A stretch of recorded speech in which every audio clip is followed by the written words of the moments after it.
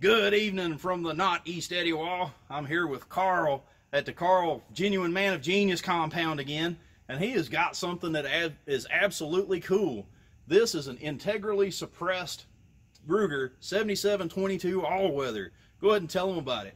Okay, this one came from a fella down in Alabama. It's called Rock Creek Gun Service. And this thing is probably one of the quietest suppressors I've ever heard. It, it, it sounds like an air rifle. It's uh, absolutely beautiful. All right. Fairly inexpensive. Uh, give him a call. Good guy to work with. All right. You want to try it out? Yeah, we'll go ahead and I'll pop off a couple and then we'll let you pop off a couple. Man, that is just very nice. When he handed it to me, I thought it was a bull barrel. And I saw those perforations right there in the end of the barrel. And I realized this thing was integrally suppressed. This is just regular old 22 ammo. Yeah, CCI standard velocity. All right, got one loaded up, ready to go. Getting a little dark for these dark shades, but I should be able to do all right. Ah, that's so quiet. Now here's one just going straight into the dirt. Ah, you can't believe how quiet that is. Go one with the steel and I'm gonna hand it back off to Carl. I love it. All There right. you go. Got her opened up. Yep. Now give me just a second to make sure you're in frame. There you go. All right. All right, here's one on the steel, Ah! So quiet, man. and we'll fire one up in the dirt.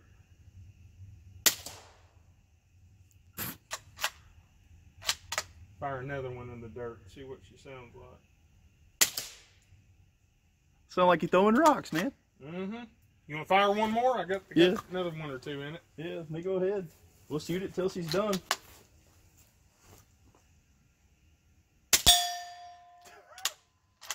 That is crazy quiet. I've shot 22 suppressed. I've got silencers at home. But this right here, the fact that we're just 16 inches and there's no wart hanging off the end of it, that is Actually, so cool. Actually, it's 18. Oh, 18 inches. Yeah, it's an 18-inch barrel. All right. Well, I stand corrected. Actually, inside the barrel is 12 and a half inches, and then the rest of the tube, it's actually this from about here back is all a big blast baffle. So that's the one of the secrets of why it's so quiet. That is so cool. Boy, old Carl dragged out another one. Tell him about it. Okay, this is a Savage Mark II. It's got the fluted threaded barrel on it, and on the end of it, we've got a Rebel Silencer SOS 22. I don't know if you can see the segments on here, but you can actually shorten this down a little bit, or you can run it full length. Ah, cool. Okay, uh, these guys are out of Texas and super cool to work with. I've got several of their silencers, and we'll be trying them out at some point, won't we, Pat? Absolutely. As long as you got a good phone and a camera, we can do it, right? Yep, yep, we'll do it. okay. Well, let's see how it works, man. All right. Give her a whirl. Well, that scope is picking up well in this low light. Yep. Oh, so quiet. And that weighted handle, I mm-hmm. like that. Yep. Put one in the dirt. I heard a limb. Mm-hmm.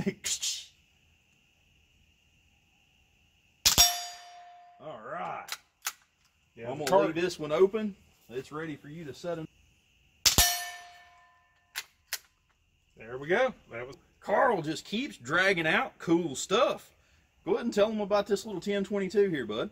okay. This is a standard Ruger 1022, and it's got a Boyd's nice stock on it. And this is a Gemtech Mist 22 integrated barrel for it.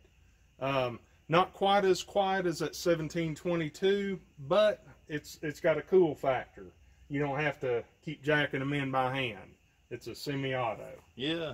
And this is just standard lead nose CCI standard velocity stuff. Yep, I buy that stuff by the brick. That's the best ammo made. All right. Well, I'm just going to send some into the dirt. Let's see how quiet this one is.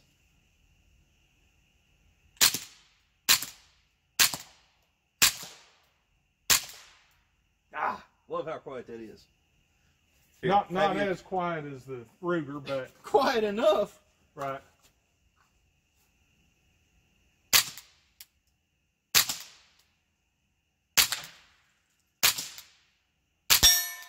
There we go. Almost too dark for that scope right now. Yep. Hey, whenever you're over here at uh, Carl's house, there's no telling what comes out of the safe. All right. Well, big thank you to Carl for showing this off. This is just absolutely cool. Well, thank you for watching and have a wonderful day. All right. So, Austin and I, we go to the store. We get some chicken wings. We get everything and we walk outside. It looks like it's about to start raining. And he says, Dad, all we got to do, we can still cook in the rain. We just put a tent over it. I looked at him.